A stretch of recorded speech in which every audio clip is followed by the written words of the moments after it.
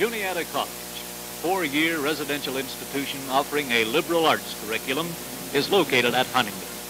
College capitalizes on its relative smallness and is committed to assist young men and women with intellectual curiosity to achieve their academic goals. Founded as a normal school for teacher preparation, the institution was accredited by the Middle States Conference in 1922. The new Science Center, built at a cost of $2,700,000, is scheduled to be dedicated on April 16th. It is the largest project ever undertaken in the 80-year history of the school. And also under construction is a new men's dormitory and residence hall, which will accommodate 178 men. The new hall is located on the grounds just west of North Hall and is scheduled to be complete for the opening of the fall term this year. It is being built at a cost of $1 million. Construction, remodeling, improvement, and a substantial increase in endowment have been accomplished during the first phase of the $5,350,000 improvement program undertaken in 1961. President Calvert Ellis is extremely pleased with progress reports.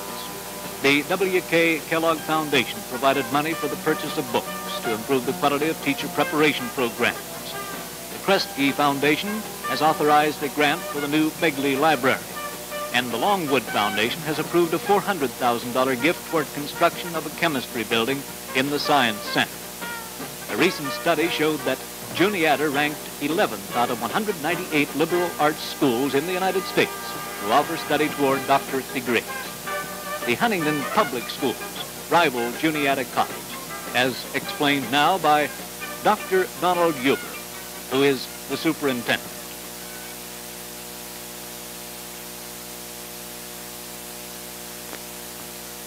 Presently, there are 3,800 students enrolled in the Huntingdon Area School District. The staff of the Huntingdon Area Schools is comprised of 164 professionals and 63 non-certified employees. It is the school board's policy to hire teachers with a minimum of a bachelor's degree, and professional growth is encouraged for all staff members.